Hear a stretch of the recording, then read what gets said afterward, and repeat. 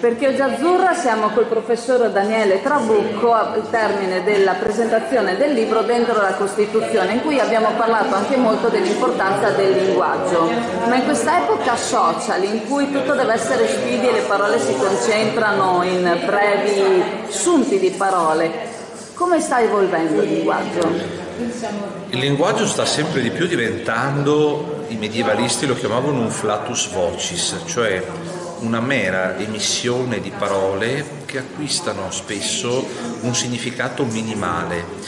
I social dal mio punto di vista hanno determinato una semplificazione un riduzionismo della bellezza e della ricchezza della parola che potrebbe descrivere eh, la realtà, analizzarla nei suoi dettagli, nelle sue articolazioni, invece questa semplificazione, questo riduzionismo tende a vedere davvero il linguaggio come una mera emissione di parole finalizzata solo ed esclusivamente a captare l'attenzione, a trovare un consenso spesso effimero, spesso fine a se stesso. Ecco, noi dovremmo recuperare invece l'idea classica della parola, la parola che descrive l'essere. No, Parmenide nel De Natura dice è importante, necessario anzi che il dire e il pensare sia l'essere.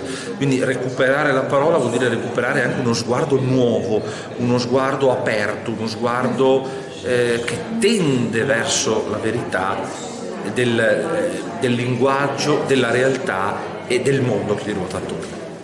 E speriamo che ci sia un'evoluzione in questo senso, dai tempi come vediamo che stanno evolvendo ci sarà un'ulteriore sintesi. Io credo che questo, molto, che questo dipenda molto dal, dal nostro modo di, di, approcciarci, abbiamo bisogno di recuperare il sapere, per fare questo dobbiamo superare eh, il nozionismo eh, del, della cultura attuale, eh, della cultura speedy, per eh, assumere invece eh, un sapere olistico, un sapere sistematico, un sapere che scatta, Aristotele dice, dalla meraviglia davanti alle cose. Per fare questo ovviamente abbiamo bisogno di cambiare il nostro modo di approcciarci alla realtà e cambiando questo avremo anche un modo diverso di utilizzare il linguaggio e di rapportare il linguaggio a quella realtà che quotidianamente ci provoca.